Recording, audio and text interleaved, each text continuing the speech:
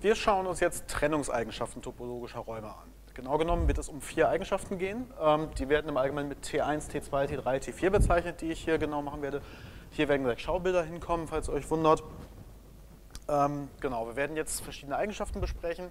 Ich werde Beispiele geben, es wird, glaube ich, ein relativ einfacher Abschnitt. Ich werde ein bisschen zeigen, was diese Eigenschaften eigentlich genau aussagen. Ähm, ja, und dann war es das auch schon. Also das ist, glaube ich, jetzt mal ein etwas harmloser Teil. Im nächsten Abschnitt werden wir das Ganze dann anwenden und beziehungsweise unter, zeigen, dass unter gewissen Trennungseigenschaften, die gleich ähm, ja, besprochen werden, stetige Funktionen existieren, beziehungsweise gewisse Fortsetzungsaussagen über stetige Funktionen gemacht werden können. Äh, da werden es dann ein paar heftige Beweise, aber das kommen wir noch. Wir lassen es jetzt erstmal ruhig angehen. Okay, dann schreibe ich jetzt erstmal ohne viel Federlesens die verschiedenen Trennungseigenschaften in die Tafel, die ich besprechen will. So, man nennt das quasi auch Trennungsaxiome.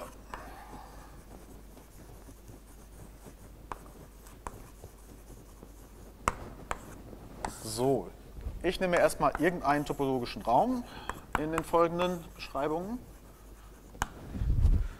Und zwar sage ich mir zuerst, dieser Raum X, X heiße T1-Raum, wenn gilt, zu je zwei Punkten x und y aus x die nicht übereinstimmen, also mit x ungleich y, kann ich Umgebungen finden. Gibt es u eine Umgebung von x, v eine Umgebung von y, so das gilt, x liegt nicht in v, y liegt nicht in u.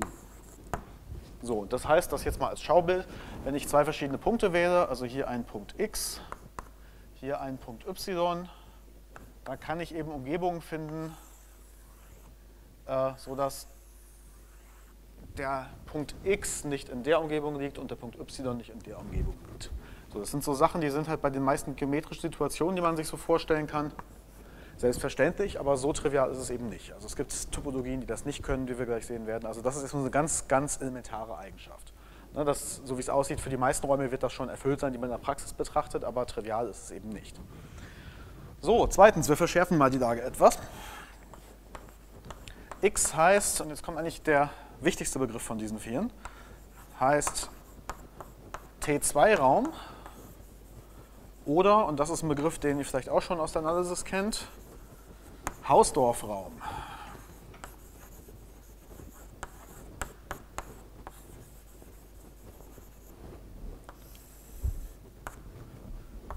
So, wenn gilt. So, da machen wir jetzt eine etwas strengere Voraussetzung und zwar für alle wieder xy aus x, die nicht übereinstimmen, gibt es wieder Umgebungen von x und y. Umgebung U von x, V eine Umgebung von y. Und jetzt wollen wir aber nicht nur, dass die Punkte nicht drin liegen, sondern dass diese beiden Umgebungen disjunkt sind. So, das heißt im Bild, äh, das hier wäre jetzt quasi ein Beispiel, was eben nicht das erfüllen würde. Ne? Die, also hier dürfen die sich ruhig überschneiden. Wenn ich hier einen Punkt x nehme und einen Punkt y, dann soll ich Umgebungen finden, die also schön disjunkt sind voneinander. Das wären also U und V. Okay, jetzt kommen noch zwei andere Trennungseigenschaften und da kommen jetzt abgeschlossene Mengen plötzlich ins Spiel. Ähm so, x heißt T3-Raum oder, dafür gibt es ein anderes Wort, regulär, ein regulärer Raum. äh, regulär, wenn gilt. Äh, für alle Punkte x und abgeschlossenen Teilmengen x, sodass klein x nicht in a liegt, gibt es u äh, v offen mit äh, x in u, also eine Umgebung von x, a Teilmenge V und U geschnitten V ist leer. So, das heißt, äh, wir haben einen Punkt und wir haben irgendeine abgeschlossene Menge. Das ist meinetwegen hier so ein Rechteck in diesem Bild. So, da kann ich ein U finden, hier, und eine Umgebung V von A, sodass diese beiden disjunkt sind.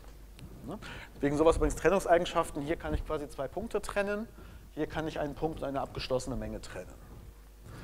So, schließlich kommen wir noch zu T4. X heißt T4-Raum oder normal, also ein normaler Raum, wenn gilt, so, dem hatten wir einen Punkt und eine abgeschlossene Menge. Jetzt haben wir einfach zwei abgeschlossene Mengen. Und zwar für alle A, B Teilmenge x abgeschlossen und disjunkt. Äh, gibt es UV Teilmenge x offen, so dass eben A in U liegt, B in V und dass die offenen Mengen disjunkt sind. Also um je zwei abgeschlossene Mengen, die sich nicht überschneiden, kann ich immer noch irgendwie Platz finden für, eine offene, für zwei offene Mengen, die sich auch nicht schneiden. So, das heißt also, in dem Schema wäre das, wir haben hier zwei abgeschlossene Mengen, dann machen wir mal zwei Rechtecke.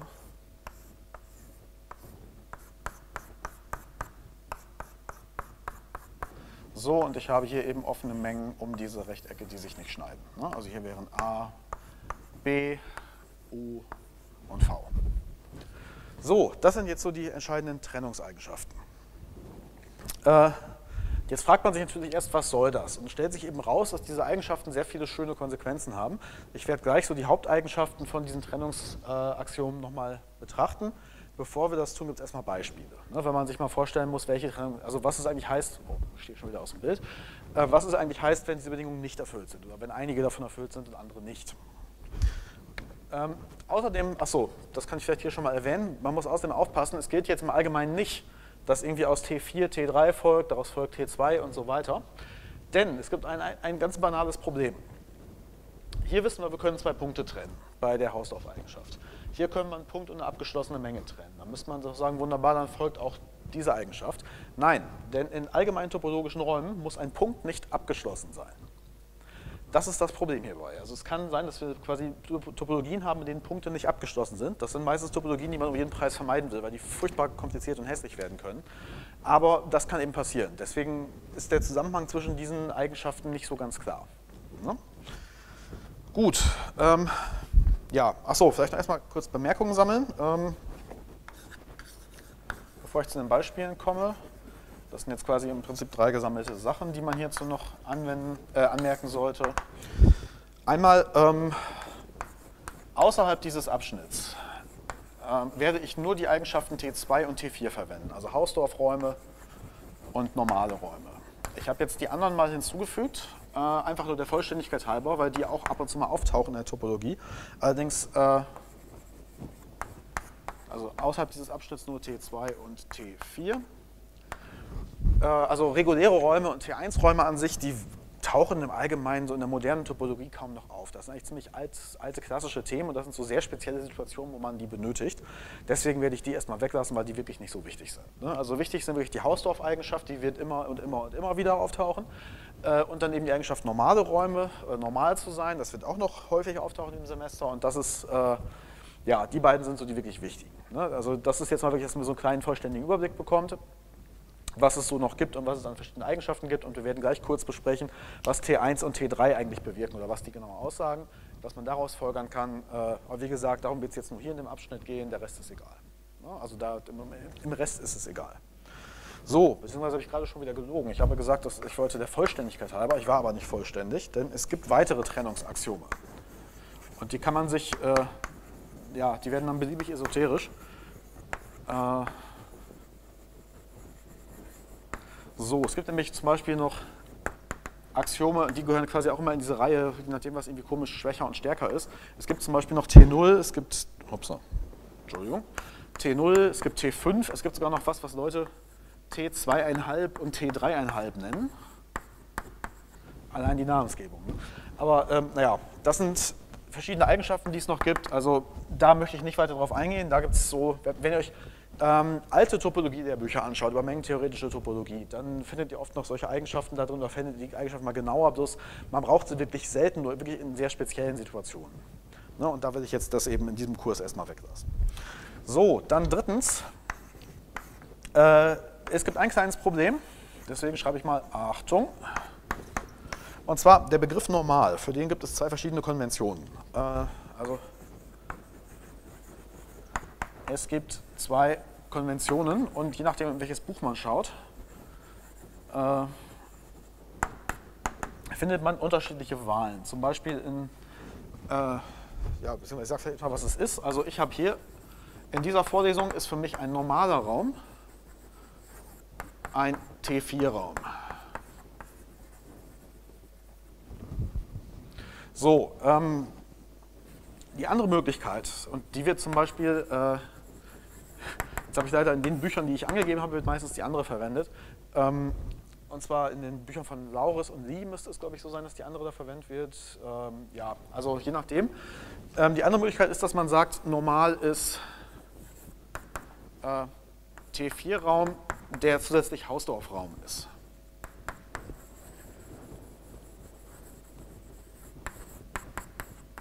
So, das wäre jetzt was, wo in meiner äh, Sprechweise oder in meiner Notation würde ich einfach sagen, das ist ein normaler Hausdorffraum. Also hier wäre das ein normaler Hausdorffraum.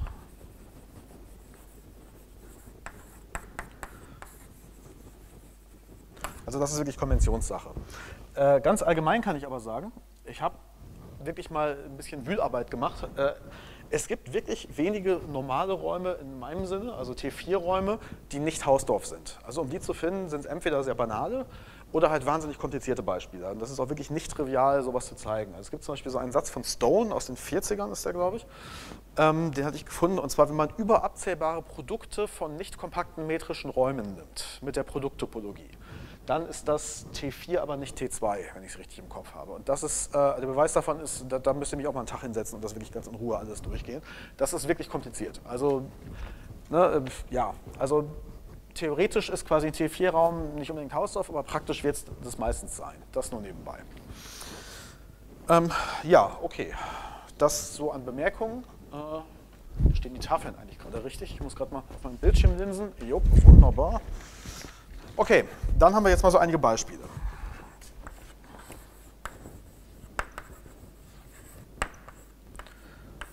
Äh, also wann welche Eigenschaften gelten.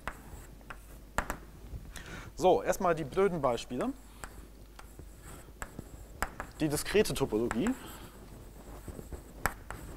Die hat jetzt den Vorteil, dass wir in der sehr, sehr, sehr viele offene Mengen haben, nämlich so viele wie es geht. Ähm, deswegen können wir auch diese Trennungseigenschaften so schön betrachten. Und zwar auf einer, die, die diskrete Topologie auf einer beliebigen Menge x erfüllt alle vier Axiome.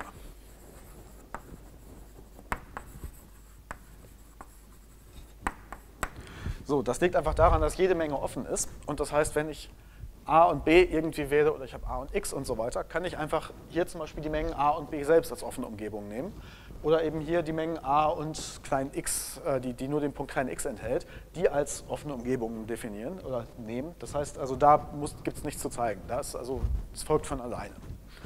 So, jetzt schauen wir mal die andere blöde Topologie an.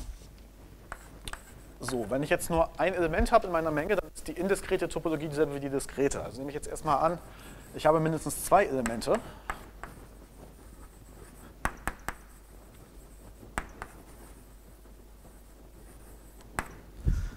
Ähm, so, und wenn, ich, wenn das der Fall ist, äh, so ist die indiskrete Topologie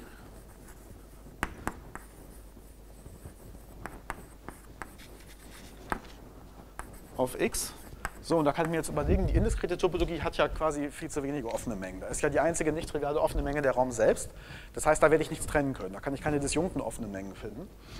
So, das heißt, dann ist das Problem, äh, wenn ich jetzt also zwei verschiedene Punkte hier wähle, also zwei unterschiedliche Punkte, dann kann ich nie im Leben solche Umgebungen finden. Das heißt, 1, äh, T1 und T2 können schon mal nicht erfüllt sein. Äh, also die ist weder T1 noch T2. Aber, und jetzt gibt es was wirklich Blödes, wenn ich mir T3 und T4 anschaue, dann habe ich also entweder zwei disjunkte abgeschlossene Mengen oder halt eine disjunkte abgeschlossene Menge und einen Punkt. Aber die einzigen abgeschlossenen Mengen sind die leere Menge und der Raum selbst. So, und wenn ich den Raum selbst nehme, kann ich nicht so einen disjunkten Punkt dazu finden. Das heißt, dann ist die Bedingung einfach leer und genauso kann ich hier keine zweite abgeschlossene Menge finden, weil kein Platz mehr da ist, weil ich schon den ganzen Raum genommen habe. Das heißt, die Bedingung hier, die erfüllt werden muss, ist leer. Das heißt, die indiskrete Topologie ist tatsächlich T3 und T4, weil dieser Fall einfach nicht eintreten kann. Ne? Also es ist blöd, aber die Konventionssache ist quasi, äh, also so ist die indiskrete Topologie auf weder T1 noch T2, aber sie ist regulär und normal. Ne? Ist zwar, es sträubt sich zwar einem, sowas regulär und normal zu nennen, aber wenn man halt nach dem Gesetz geht oder nach den Regeln, dann äh, ist halt die Bedingung einfach leer. Ne? Also die Bedingungen sind leer.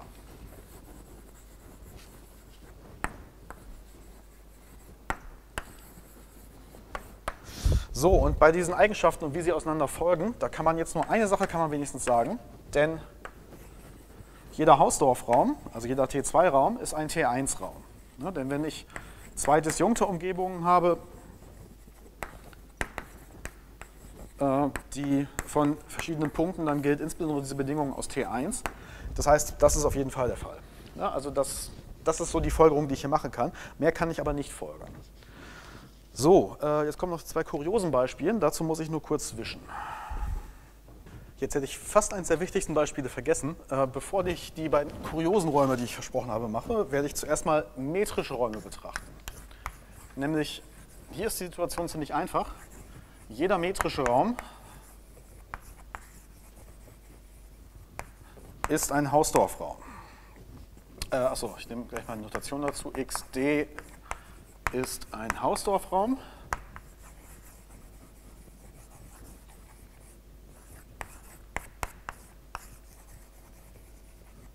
So, und das kann man sehr schnell beweisen.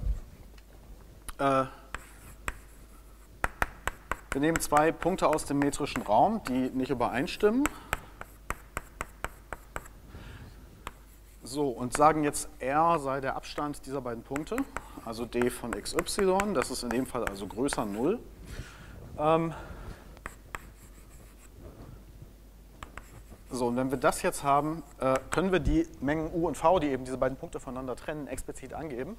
Nämlich u wäre einfach nur die Kugel mit, die offene Kugel mit Radius r halbe um x und v die offene Kugel mit Radius r halbe um y. Ne? Und dass diesen gerade der Radius ist so klein, dass sie sich so gerade nicht treffen.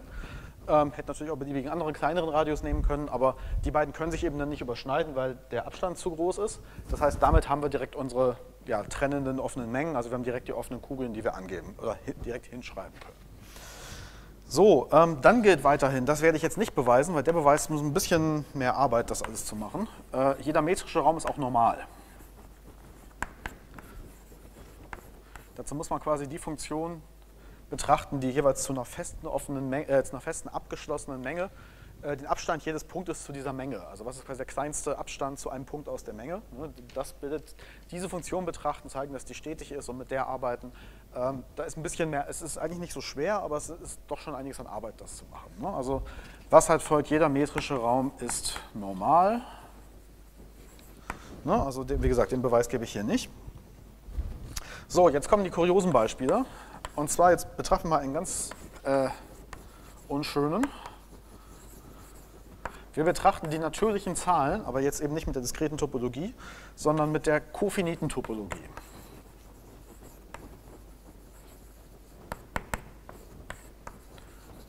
So, falls ihr gerade mal grübeln müsst, was war das nochmal? Ich schreibe es nochmal kurz hin. Die Menge der offenen Mengen t ist also gerade die Menge aller u Teilmenge n sodass n ohne u eine endliche Menge ist. So, das hatte ich am Anfang mal definiert als ein Beispiel für eine Topologie.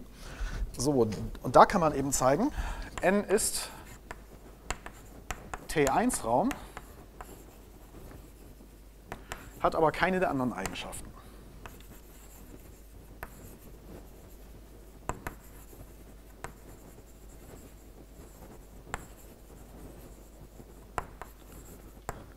So, das ist äh, ja ist kurios, ähm, aber dazu werde ich auch eine Übungsaufgabe noch machen, äh, die das Ganze ein bisschen allgemeiner macht, dass man sich mal anguckt, was diese kofinierte Topologie eigentlich mit den Trennungseigenschaften macht. Da muss man wirklich mal sich mal hinsetzen und rechnen. Also das kann ich allen nur sehr empfehlen. Ähm, gerade jetzt, also ich werde auf dem vierten Blatt eben hauptsächlich dann Aufgaben mit Zusammenhang und Trennungseigenschaften und gerade diese Aufgaben zu den Trennungseigenschaften kann ich nur sehr empfehlen, die mal zu rechnen, weil das Sachen sind, wo man so ein Gefühl für bekommen muss, indem man damit arbeitet. Ja, also das äh, ja, möchte ich euch nur sehr empfehlen. So, dann haben wir jetzt noch ein äh, etwas expliziteres Beispiel, nämlich das, was ich schon mal hatte, die Gerade mit zwei Ursprüngen. Darüber hatte ich bei Summentopologien im Abschnitt, glaube ich, kurz drüber gesprochen. Das ist, die Idee war also, wir verkleben quasi zwei Geraden überall, nur nicht am Ursprung und kriegen damit so sowas wie eine Gerade mit zwei Ursprüngen, mit einer sehr kuriosen Topologie. Ähm, da hatten wir das, ich hatte bisher schon gezeigt, da sind Grenzwerte nicht eindeutig. Und was man sich hier eben überlegen kann, ist äh, diese gerade mit zwei Ursprüngen, äh, das war genau aus Beispiel, ich gebe es nochmal kurz an, 2, 43, 2. So, diese ist kein Hausdorfraum.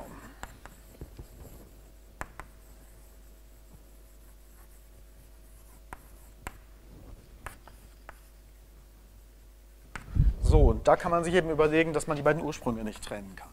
Ne? Also, denn die beiden Ursprünge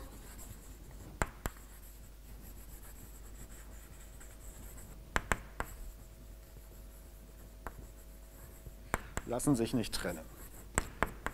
Ne? Und da muss man sich mal überlegen, das ist vielleicht auch als kleine Übung, die ich jetzt so nicht stellen werde, ähm, was sind eigentlich jetzt die offenen Umgebungen von den beiden Ursprüngen? Ne? Die sind beide quasi, die haben immer einen Teil von der Geraden drin, also immer einen Teil von, der, von dem, der identifiziert wird, also wo zwei Geraden identifiziert werden.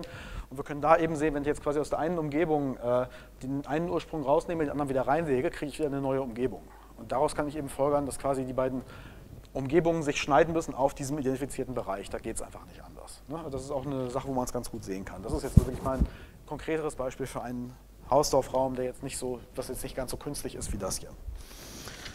Okay, ähm, jetzt kommen wir mal dazu, welche Eigenschaften oder was eigentlich folgt, wenn wir diese Trennungseigenschaften annehmen. Und da kommen wir erstmal zu der ganz elementaren. Äh, Satz 331. Und zwar ein topologischer Raum ist genau dann T1-Raum, wenn jeder Punkt abgeschlossen ist. Da ist also genau diese Sache, die ich eben als Problem dabei hatte. Wenn jed, also streng genommen muss ich jetzt sagen, jede einpunktige oder einelementige Teilmenge abgeschlossen ist.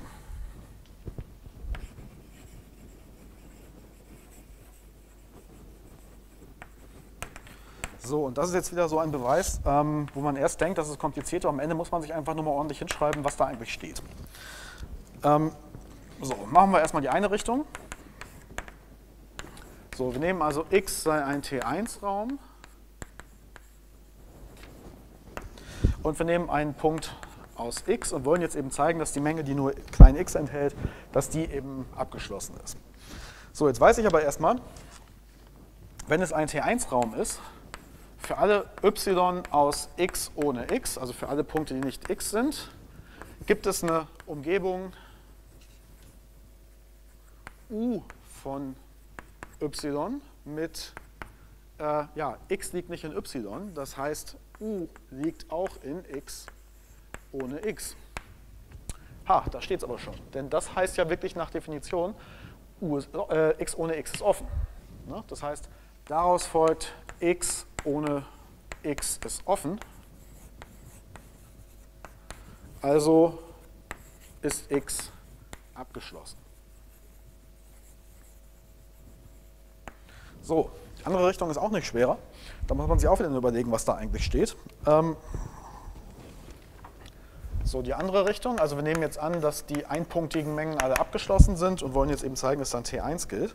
So, also sei x top Raum, sodass die Menge x abgeschlossen ist für alle x aus x. So, wenn das der Fall ist, äh, dann wollen wir jetzt also zwei Punkte trennen. Das heißt, wir brauchen erstmal zwei Punkte xy aus x, die nicht übereinstimmen. So, dann weiß ich, x ohne x und x ohne y sind offen. So, und da eben y in x ohne x liegt und x in x ohne y liegt, heißt das, ich finde also jeweils offene Umgebungen der beiden Punkte, die eben dann auch noch drin liegen. Das heißt, äh, damit folgt, es gibt erstmal eine Umgebung u Teilmenge x ohne x, äh, nee, machen wir erst x ohne y von x, äh, Umgebung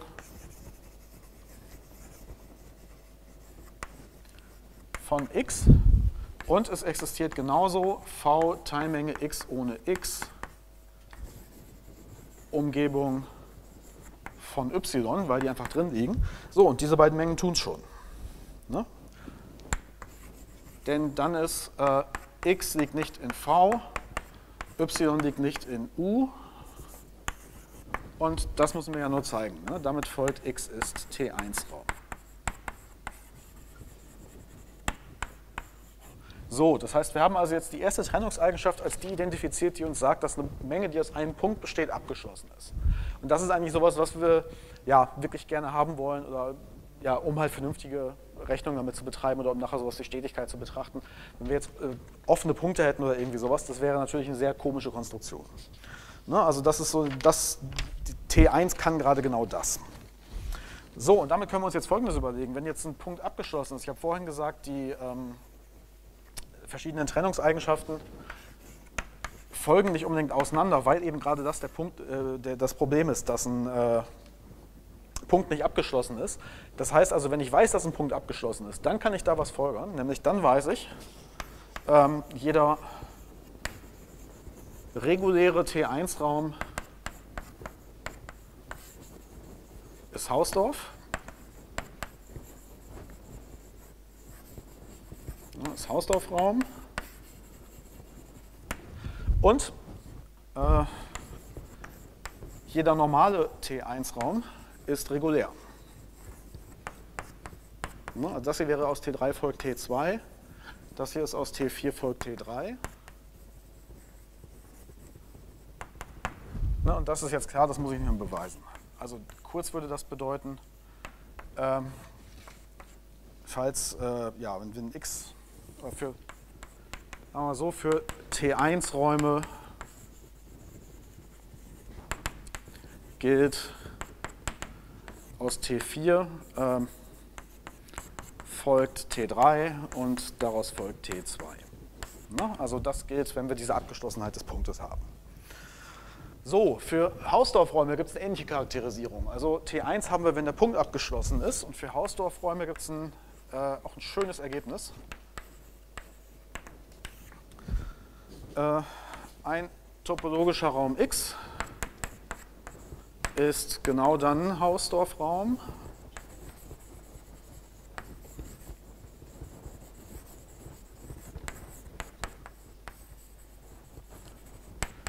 Wenn ein bestimmter Raum abgeschlossen ist, nämlich wenn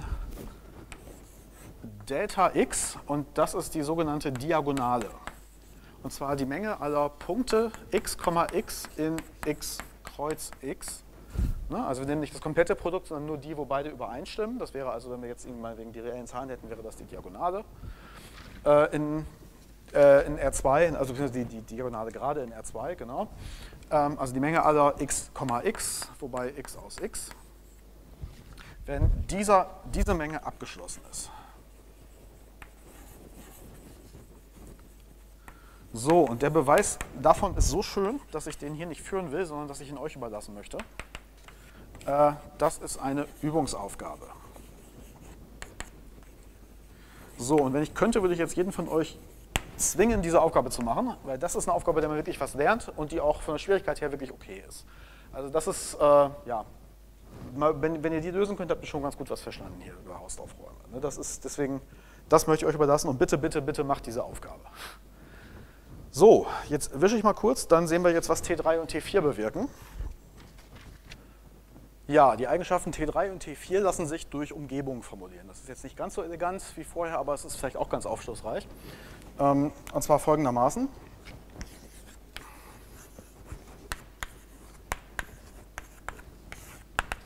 Wir nehmen einen topologischen Raum. So, dann gilt einmal x ist genau dann regulär. Genau dann, wenn. Ähm, für jeden Punkt und jede Umgebung eines Punktes äh, wissen wir, es gibt eine abgeschlossene Umgebung des Punktes. Eine abgeschlossene Umgebung von x so dass a noch in U liegt. Das heißt also, wir haben einen Punkt x, wir haben irgendeine Umgebung gegeben, U, und wir finden immer irgendeine abgeschlossene Umgebung hier noch drin. Also das, äh, ja, es gibt also beliebig kleine abgeschlossene Umgebungen.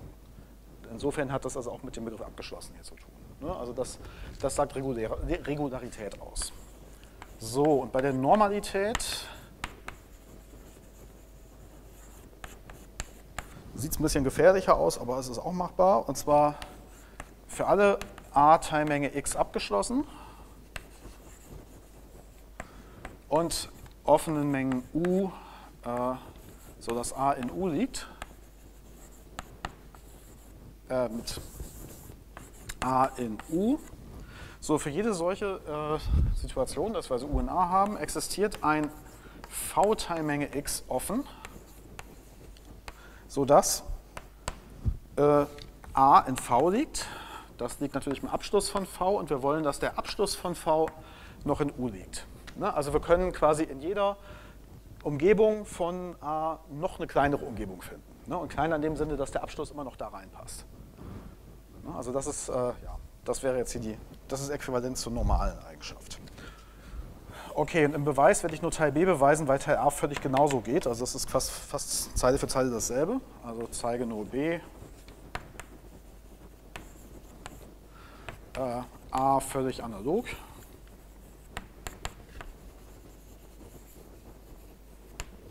So, dann machen wir erstmal, nehmen wir die Normalität an. Okay, also wir haben jetzt erstmal und dann die Situation A abgeschlossen, U offen, mit a Teilmenge u. So, wir haben jetzt die Normalität und müssen so ein v finden. So, und jetzt gucken wir mal, was wir nämlich weiterkriegen. Äh, wir wissen nämlich jetzt, äh, wir können uns eine zweite abgeschlossene Menge bauen, denn wir wollen ja, also um Normalität anwenden zu können, brauchen wir abgeschlossene Mengen, äh, die disjunkt sind von a und die wir eben dann trennen wollen. So, und so eine können wir nämlich hinschreiben, nämlich, äh, achso, wieso höre ich da jetzt auf? Äh, x ohne u das ist abgeschlossen, weil U offen ist. So, und nach Konstruktion ist A geschnitten x ohne B, äh, x ohne U leer. No? Das ist direkt nach Konstruktion. So, das heißt, wegen der Normalität können wir jetzt diese Mengen trennen. Das heißt, äh, ja, x normal.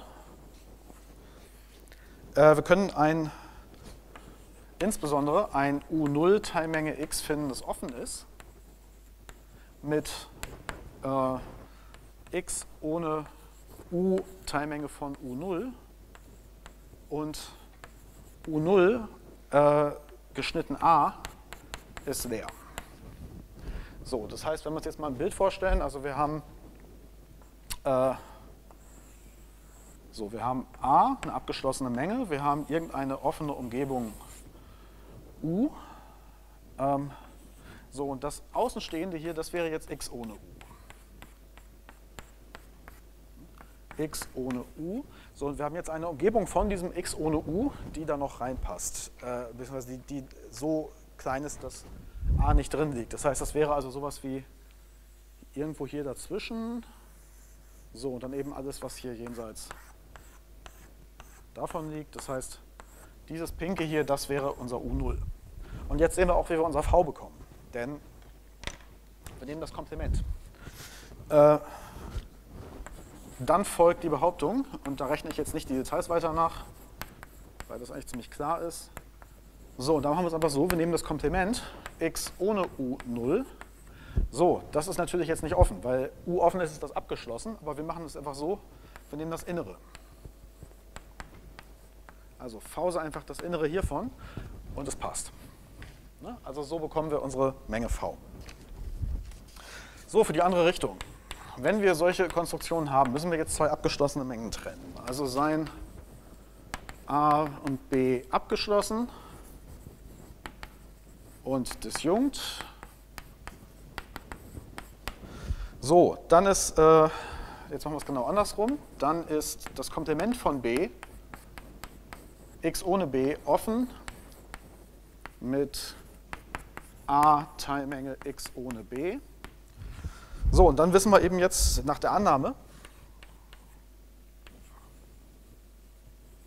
so ich nenne die Menge jetzt nur anders, es existiert ein U Teilmenge x ohne b äh, offen mit a Teilmenge u Teilmenge u quer Teilmenge x ohne b.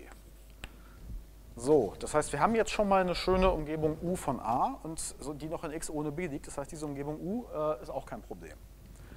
Ähm, so, das heißt also, äh, wenn wir das jetzt haben, ich male die Bilder jetzt mal nicht, das kann man sich gerne mal überlegen, wie es dann aussehen würde. Ähm, wenn wir jetzt einfach Folgendes machen,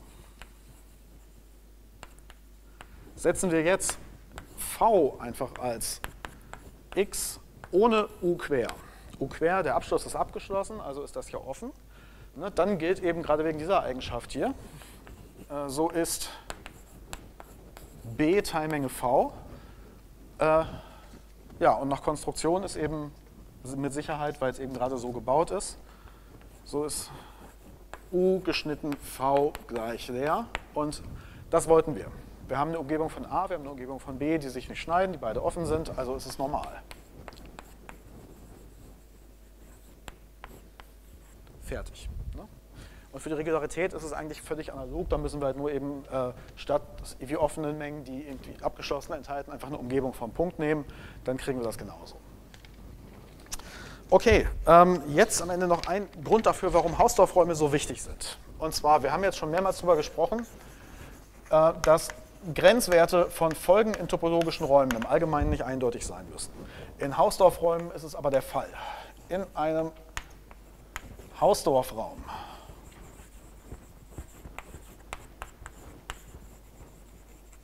sind Grenzwerte konvergenter Folgen eindeutig. Und das ist quasi ein Grund, also da können wir, also außerhalb von Hausdorffräumen ist es meistens schwierig, über Konvergenz zu sprechen. Aber sobald wir diese Eigenschaft haben, ne, das heißt zum Beispiel in metrischen Räumen, sind wir da sicher. Sind Grenzwerte konvergenter Folgen eindeutig. Okay, ähm, das ist auch nicht so schwer zu sehen. Wir nehmen uns einen Hausdorffraum.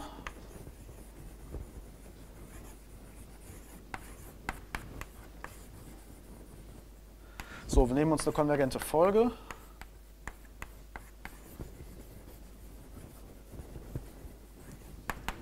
So, und jetzt nehmen wir mal an, wir hätten zwei verschiedene Grenzwerte. Also angenommen, es existieren xy aus x, sodass xn gegen x konvergiert und gegen y.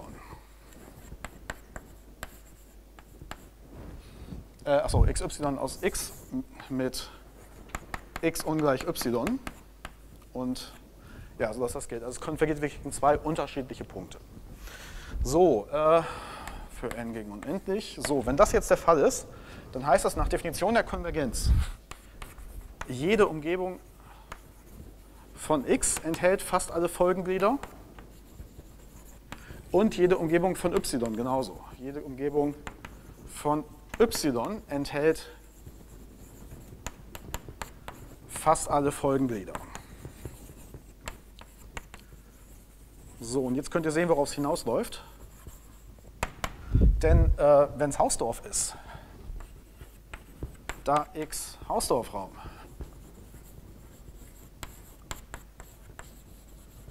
weiß ich aber, es gibt u Umgebung von x und v Umgebung von y mit u geschnitten v gleich leer. So, das ist ein Widerspruch, denn ja, das kann jetzt nicht sein. Es müssen fast alle Folgen in der Umgebung liegen. Das heißt also, es müssten fast alle Folgenglieder sowohl in U als auch in V liegen. Das könnte aber nur dann der Fall sein, wenn die beiden sich schneiden. Ne? Also dann muss, muss, es quasi Glieder im Schnitt geben. Haben wir nicht. Und äh, ja, genau, also Widerspruch, äh, dies kann nicht eintreten. Ne? Da muss ich, glaube ich, nichts weiter zu schreiben. Nicht eintreten. Also ist der Limes eindeutig.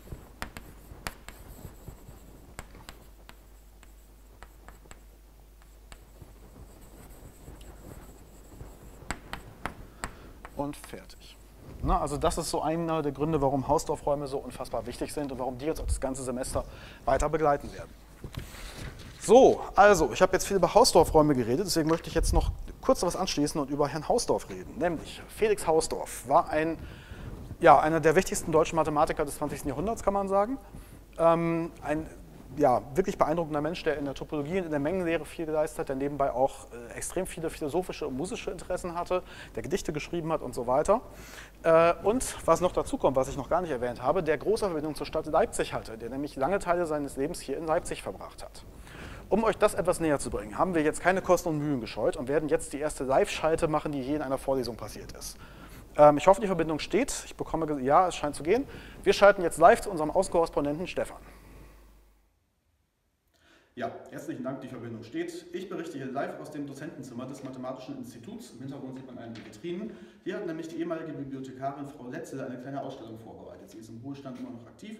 Ähm, es geht nämlich um Spuren Felix Hausdorf in Leipzig. Hausdorf ist nämlich quasi Leipziger und hat die ersten 40 Jahre seines Lebens im Wesentlichen in Leipzig verbracht.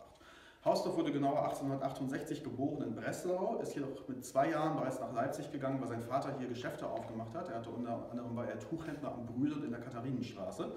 Hier im Hintergrund sind auch noch einige Wohnsitze von äh, Hausdorff in Leipzig. Man sieht hier, dass es sehr liebevoll zusammengestellt ist. Ähm, Hausdorff ist also als Zweijähriger nach Leipzig gekommen und hatte im Wesentlichen bis 1910, also bis zu seinem 42. Lebensjahr, äh, die Zeit in Leipzig verbracht. Er hat die Nikolaischule besucht, hat dort das Abitur abgelegt, hat von 1887 bis 91 Mathematik und Astronomie hier an der Uni Leipzig studiert, mit kleinen Semestern äh, Aufenthalten in Freiburg und Berlin. Hat danach äh, nach der Promotion 1895 in Leipzig habilitiert und war bis 1910 zunächst Privatdozent und dann außerordentlicher Professor an der Uni Leipzig. Hausdorff war äh, sehr vielseitig interessierter Mensch. Er hat sich für Musik und Philosophie interessiert, hat auch äh, nebenbei Gedichtbände geschrieben. Äh, dazu kann man sicherlich einiges nachlesen. 1910 ist Hausdorff dann nach Bonn gewechselt an die Uni Bonn, wo er eben äh, dann auch geblieben ist mit ein paar Jahren in Greifswald als Ausnahme. Er war dann Professor am Mathematischen Institut der Uni Bonn äh, bis zu seiner Emeritierung 1935. Seine letzten Lebensjahre waren eher unschön. Hausdorff kam nämlich aus einer jüdischen Familie, ähm, hatte es deswegen in der Nazizeit sehr schwer und hat sich tragischerweise 1942 gemeinsam mit seiner Ehefrau das Leben genommen, weil sein äh, ja, zu, der Abtransport der Bonner Juden und der Zusammenführung in Vernichtungslager im Osten leider kurz bevorstand, sodass Hausdorff eben aus Verzweiflung oder aus Aussichtslosigkeit sich leider das Leben genommen hat. Heute gibt es hier noch weitere Spuren von Hausdorff. Unter anderem gibt es in Bonn das Hausdorff-Institut für Mathematik, ein Forschungsinstitut, das inzwischen eingerichtet wurde. Ähm, und in Leipzig gibt es auch eine kleine Spur, die hier hinten auch äh, zu sehen ist. Und zwar gibt es seit 2011 in Gohlis eine Straße namens Hausdorfweg. In einem neu angelegten Wohngebiet. Also die kann man in Leipzig finden wie wir hier noch einmal genau sehen können. Ähm, ja, dies sind also die Spuren von Hausdorff in Leipzig. Nebenbei bemerkt ist Hausdorff eben einer der wichtigsten deutschen Mathematiker des 20. Jahrhunderts und als solcher äh, nicht von der mathematischen Landkarte wegzudenken. Mit diesen Eindrücken gebe ich zurück in den Hörsaal. Ah, vielen Dank für die vielen interessanten historischen Informationen. So, das hat hoffentlich gut geklappt. Ähm, ja, Hausdorff war also wirklich, ja, eigentlich ein Leipziger von Geburt okay, den, das war es soweit für diesen Abschnitt. Im nächsten Abschnitt werden wir jetzt die, vor allem die Bedingungen eines normalen Raums weiter betrachten und werden damit jetzt stetige Fortsetzungssätze zeigen. Äh, es geht dann vor allem um das Lemma von Urison und den Erweiterungssatz von Tietze, die beide ziemlich lange und gefährliche Beweise haben, aber wir gehen dann Stück für Stück durch. Da wird es also ziemlich technisch werden, aber das kriegen wir auch hin. Bis zum nächsten Video.